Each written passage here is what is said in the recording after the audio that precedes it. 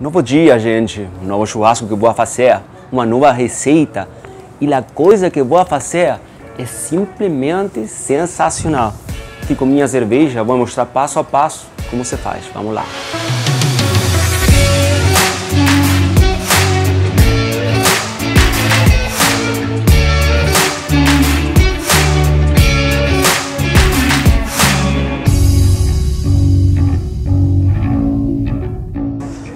Matambre do porco, gente, pessoal, é um corte que é, no sul do Brasil é conhecido, mas aqui no Rio, tá? que não é quase nada conhecido.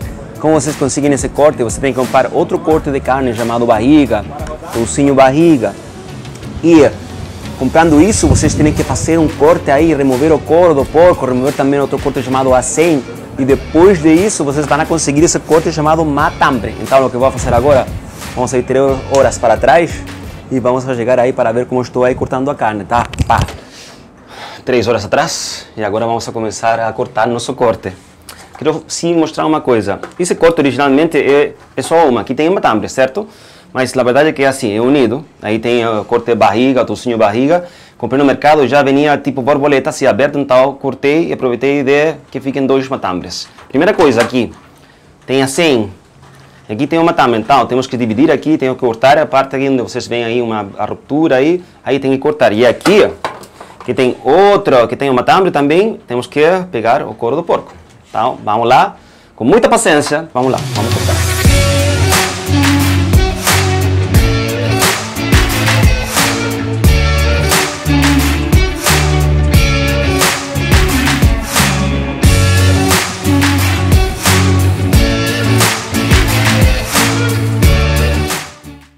Açougueiro expert me vai vir aqui e vai falar que p é isso, preciso ajudar a ele na próxima vez. que p é isso, caramba, que parrilheiro, que nada. Consegui cortar aqui, infelizmente fez um burraco, mas uma tambre tem. Vamos fazer a pizza. É, uma pizza com um burraco, mas finalmente é isso. Agora vamos cortar outro. Consegui remover o mais possível, isso somente couro. E aqui, aqui está parte do matambre. tem aí um agulheiro e aqui tem outra parte. Vamos fazer aqui dois matambritos, dois pizzas, o melhor possível.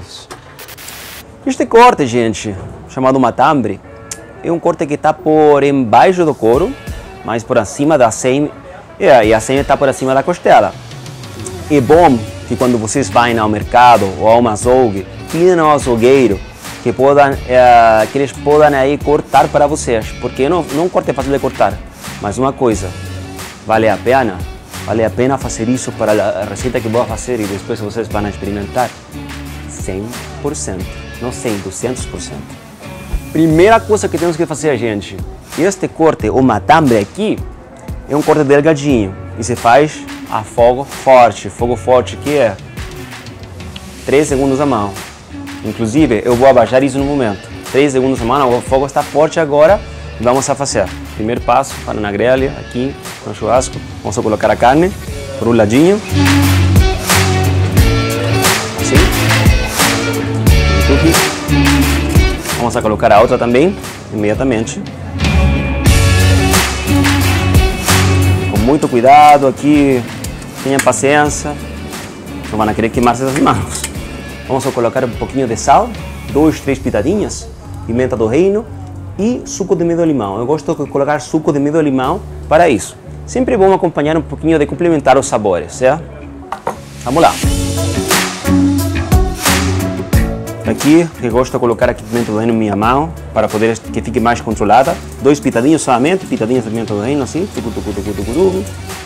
Suco de meio limão.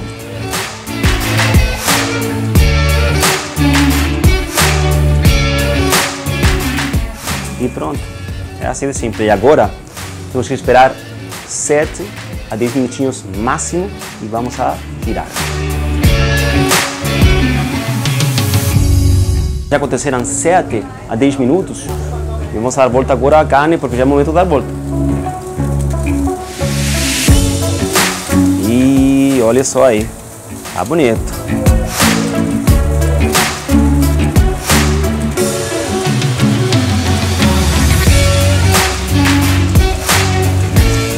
Agora vamos a começar a fazer a nossa pizza. Acompanha-me aqui.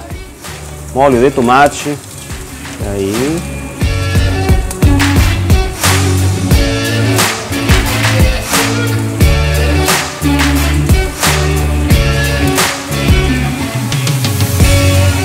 Queijo cheddar combina muito, muito com Essa é a dica que eu entrego neste vídeo. Quando vocês fazem uma pizza aqui com isso, combinem com queijo cheddar porque a combinação é simplesmente surreal.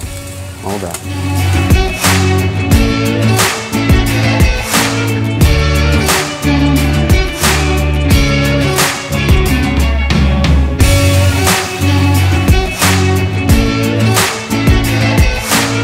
Agora colocamos o presunto.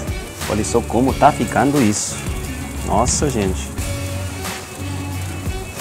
Agora queijo mussarela rolado. Fica muito bom, muito bom assim. Aí vamos colocar.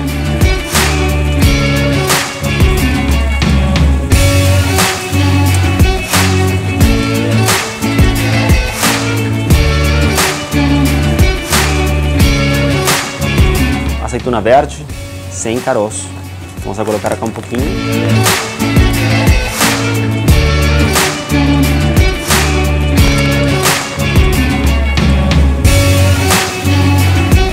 Vamos a colocar agora orégano.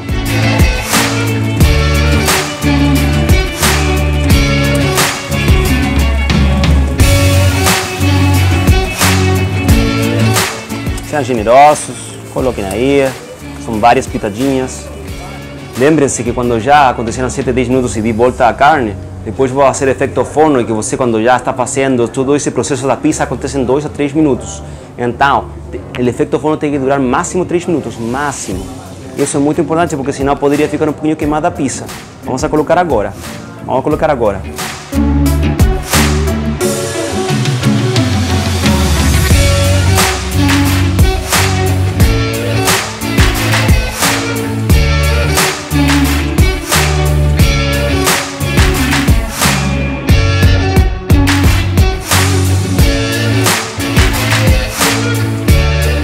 Deixar 3 minutinhos e vou pegar afora o carvão. É assim. E olha isso aí. Vamos a pegar nossos matando essa pizza agora. Estão prontos a sair? Vamos a pegar aqui.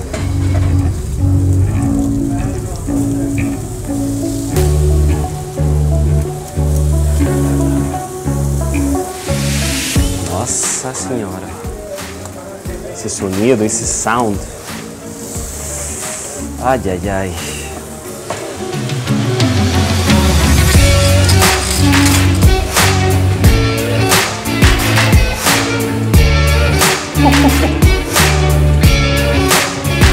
Vamos acá de deixar reposar um minutinho para que está uh, muito quente agora e servimos.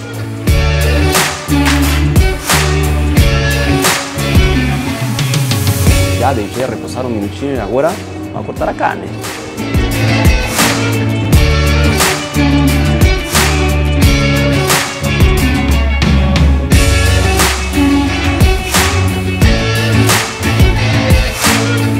E agora, que já cortei, vamos provar. Cheers. Saúde.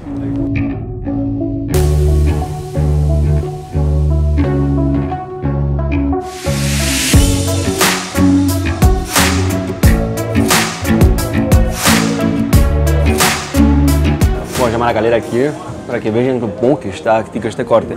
E aí? amigo. Provei, provei. Oh. Like it? I love it. Nice. Como pode ser? Um sucesso, um sucesso aqui. Ça, c'est de la viande de Taste, taste one more, yeah. Ça, c'est la viande de porc en fait. Il n'y a pas de. That's meat. That's pork meat. A massa é Yeah. a base é, é carne. É, exato. A massa, it's pork meat. Isso é a receita de hoje. Se vocês gostaram, se vocês curtiram, não esqueçam de inscrever-se no meu canal aqui embaixo. Recomenda aos seus amigos, amigas. Se vocês querem uma nova receita, alguma recomendação, Andrés, quero fazer outro tipo de coisas, falem-me aí e vou estar respondendo. O mais importante é que vocês aí degustem, curtam aí com sua família com seus amigos. Saúde, queridas, queridos.